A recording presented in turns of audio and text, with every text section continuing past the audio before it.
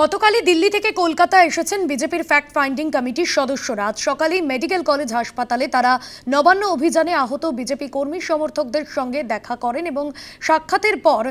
বিজেপির রাজ্যসভার সাংসদ শ্রী ব্রিজলাল তিনি জানিয়েছেন বাংলায় জঙ্গলরাজ চলছে তানশাহি চলছে দু হাজার চব্বিশে মানুষের জবাব দেবে ঠিক কি বলেছেন তিনি শুনবো जनता जो है जो गुंडई तृणमूल कांग्रेस की देख रही है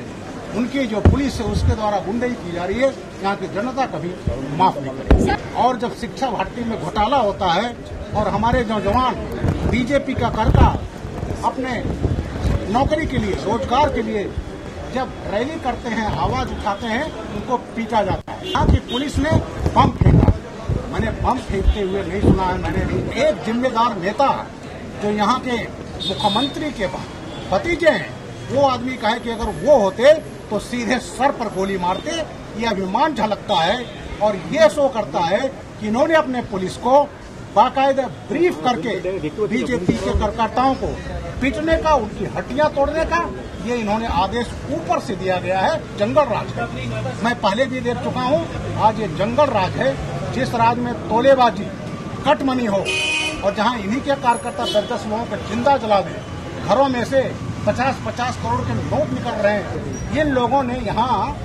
जो अत्याचार मचा रखा है भ्रष्टाचार मचा रखा है अगर हम आवाज उठाएंगे और यहाँ की बंगाल की जनता देख रही है और चौबीस का चुनाव आ रहे हैं सबक सिखा देंगे বিজেপির রাজ্যসভার সাংসদ শ্রী ব্রিজলালের এই মন্তব্য প্রসঙ্গে আমরা কথা বলেছিলাম ফোন লাইনে তৃণমূল সাংসদ ডক্টর শান্তনু সেনের সঙ্গে কি জানিয়েছেন তিনি শুনবো প্রত্যেকটা নির্বাচনে তো মানুষ জবাব দিচ্ছে আর কত জবাবের জন্য অপেক্ষা করছে ওরা আপকিবার দুশো পার বলে মাত্র সাতাত্তর, সেটাও কমতে কমতে তলানির দিকে যাচ্ছে। সমস্ত পৌর নির্বাচনে হার বাই ইলেকশনে হার, আসানসোলের মতো নিজেদের জেতা জায়গায় গোহারান হার, এতেও কি বুঝতে পারছে না যে মানুষ কি জবাব দিচ্ছে? বাইরে থেকে ভাড়া করা গুন্ডা এনে সাড়ে এগারো কোটি টাকা খরচা করে যে অর্গানাইজ ক্রাইম যে তাণ্ডব তারা চালালো, যেভাবে পুলিশের গাড়ি ভাঙচুর করল এসিপি র্যাঙ্কের পুলিশকে রড দিয়ে মেরে হাত ভেঙে দিল যেখানে পুলিশের গাড়ি ভাঙলো, গাড়ি জ্বালালো যেভাবে তারা কমিউনাল টেনশন তৈরি করার চেষ্টা করল, সারা ভারতবর্ষ কেন, সারা পৃথিবীর মানুষ তো সেটা দেখল। ঠিকই বলে যে যোগ্য জবাব দেবে। পঞ্চায়েত নির্বাচনটা হোক, তার যোগ্য